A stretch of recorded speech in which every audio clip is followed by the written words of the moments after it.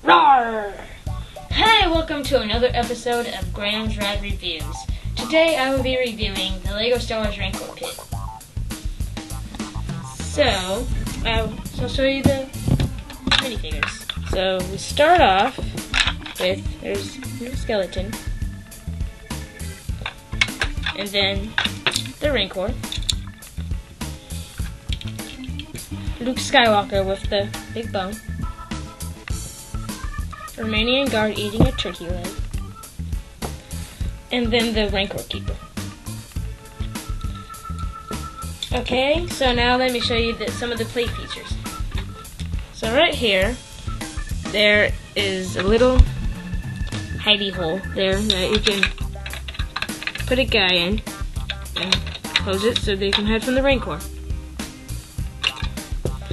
And then right here, when you lift that piece up, there's a key in there so you can unlock the door and escape the Rancor.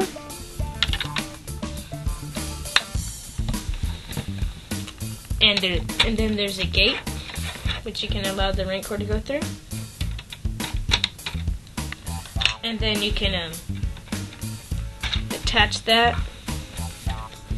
There's a little, there's like a little locker there. And if you do have Jabba's Palace, 2013 one, you can put it on top of this one to com- to complete um, movie scene. Okay, now for the details for the Rancor, he has the little pads right here that protect him.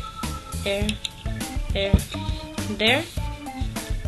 And then his fingers move, and his arm does, and his that moves.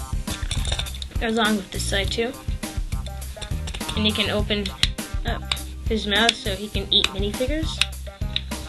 Now with Luke Skywalker, the details are his cloak, and he also has another face, it's kind of a scared face. With the Gamorrean guard, he kind of has little horns there, he kind of has a pig-like face. They also have his armor there with his, his fur coat. Then with this guy, he has a, like a hood and some good skin details there, like a hood uh, with, with a scythe. And the back of his head is a sad little face. Well, that's it with my review today.